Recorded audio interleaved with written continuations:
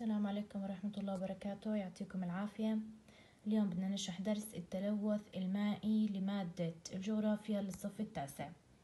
أول إشي بدنا نعرف شو هو آه، التلوث المائي. بدنا نحكي عن أنواعه. في عندي نوعين للتلوث المائي. بعدين بدنا نحكي عن مصادر التلوث المائي. بدي أحكي عن الآثار الصحية للتلوث المائي والأمراض اللي بسببها تلوث المياه. بعدين بدنا نحكي كيف بإمكاننا نعمل أو نحد من تلوث المياه. وآخر إشي بدنا نحكي عن حماية البيئة. هلا بداية أول إشي بدنا نعرف التلوث المائي. التلوث المائي تعريفه أي تغير فيزيائي أو كيميائي في نوعية المياه بحيث بتغير لونه أو طعمه أو رائحته بطريقة يا مباشرة أو غير مباشرة. طبعا بيأثر سلبا في الكائنات الحية ويجعل المياه غير صالحة للاستخدام. هذا تعريف التلوث المائي. بحكي لي ينقسم التلوث المائي لنوعين. عندي تلوث طبيعي يظهر في تغير درجة حرارة المياه أو زيادة ملوحته. يعني إذا زادت ملوحة المي بصير في عندي تلوث طبيعي أو زادت المواد العالقة فيه بصير في عندي تلوث طبيعي. النوع الثاني اللي هو التلوث الكيميائي طبعا تتعدد أشكاله. يا بصير في عندي تلوث بمياه الصرف الصحي أو تختلط مياه المياه بالتسرب النفطي بصير في عندي تسرب للنفط في المياه فبيؤدي لتلوث مائي أو التلوث الناتج عن المخلفات الزراعية جراء استخدام المبيدات الحشرية والمخصبات الزراعية. هلا بدنا نحكي عن مصادر التلوث المائي. عندي النفايات مخلفات المزارع مياه الصرف الصحي الحيوانات والنباتات الميتة المصانع تسرب النفط المعالجات الكيميائية وسائل النقل والروائح الكريهة كلها من مصادر التلوث المائي وكلها بتلوث المياه. هلا بدنا نحكي عن الآثار الصحية للتلوث. بحكي لي في الكتاب في عندي آثار صحية لتلوث المياه. منها بسبب عندي أمراض التيفوئيد والأميبيا والديدان التي تسبب الإسهالات الناتجة عن الإصابات بالميكروبات. بحكي له ويتسبب تلوث المياه الشاطئية في ظهور الطفح الجلدي والالتهابات التنفسية واحمرار العين. في حين أن تلوث المياه بمواد كيميائية يسبب السرطان ومشكلات في الجهاز العصبي ووظائف الكلى والكبد. هلا بدنا ننتقل أعزائي إلى الإجراءات الوقائية. أو الإجراءات التي يمكن اتباعها للحد من تلوث مصادر المياه.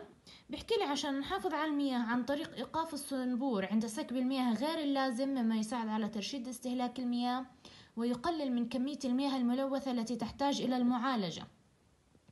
كن حذرا مما يلقى في المصارف والحمامات وبخاصة مسحوق الغسل ومواد التنظيف المنزلية ومستلزمات النظافة والدهانات والزيوت وغيرها من أشكال القمامة لأنها كلها بتلوث المياه.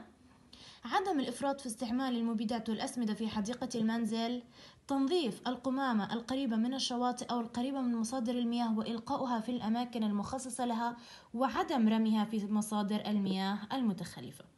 المختلفة آسفة. هلا بدنا نحكي معلومة بحكي لي إياها في الكتاب. هل تعلم أن تلوث المياه يهدد بنقص الغذاء العالمي بنسبة 10% سنويا أي ما يعادل فقدان نحو 160 مليار متر مكعب من المياه النظيفة؟ وفي حال عدم مواجهة هذا التلوث فإن المجاعات وعدم الاستقرار الأمني والحروب ستعم العالم. هلا بحكي لي في عندي منظومة أو منظمة اسمها منظمة الأمم الأمومة والطفولة اللي هي اليونيسف آه، أعلنت بعام 2013 أن 2000 طفل دون الخامسة يموتون كل يوم نتيجة أمراض الإسهال على مستوى العالم. منهم نحو 1800 حالة. وفاة ترتبط بتلوث المياه والصرف الصحي والنظافة الشخصية. لذا فإن أكثر من 80% من الأمراض المنتشرة في العالم سببها المياه الملوثة اللي بيشربها الإنسان واللي بيعود سببها لتلوث الملوثات أو تلوثها للملوثات الكيميائية والحيوية. نهاية وفي آخر الدرس راح نحكي كيف باستطاعتنا أنه نحمي البيئة. عندي ثلاث جوانب. أول إشي التشريعات البيئية. ماشي على مبدأ أنه الملوث يدفع. أي أي يعني أي بني آدم مسؤول عن تلوث لازم يدفع ضريبة آه، لقاء الضرر اللي ألحقه بالبيئة. طبعا في الكتاب بيحكي لي الملوث يدفع أي جعل الطرف المسؤول عن حدوث التلوث مسؤولا عن الدفع لقاء الضرر الذي ألحقه بالبيئة. تاني جانب اللي هي التربية البيئية اللي هي بت بترتبط بتنمية وعي المواطنين بالبيئة والمشكلات المتعلقة بها وتزويدهم بالمعرفة والمهارات والقيم اللازمة لحماية بيئتهم.